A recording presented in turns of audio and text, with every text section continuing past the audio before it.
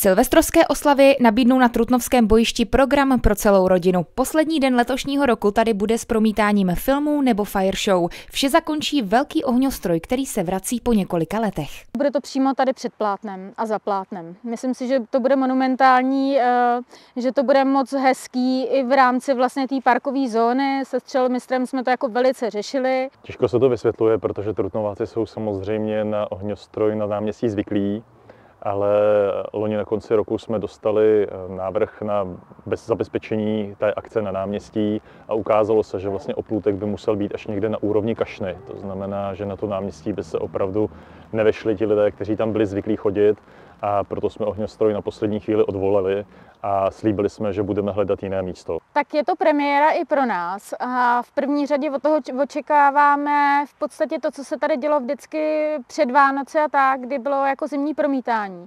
Že to je opravdu jako setkání lidí. Vstupné bude pro návštěvníky zdarma. K dispozici bude teplé i studené občerstvení a teplo poskytnou čtyři velká ohniště. Do areálu se nesmí vnášet vlastní ohňostroje.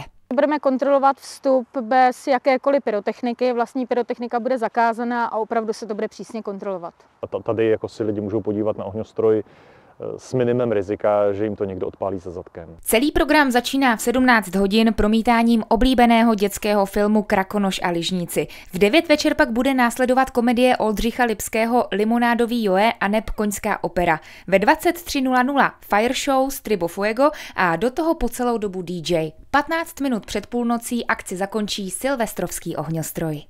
Hlavním motivem téhle akce je, aby ubylo malých ohňostrojů, protože v loňském roce, kdy byl ohňostroj zrušen, mám pocit, že si většina trutnováků řekla, no tak si to vynahradíme a uděláme si svůj ohňostroj. A řekl bych, že to množství bylo už opravdu neúnosné.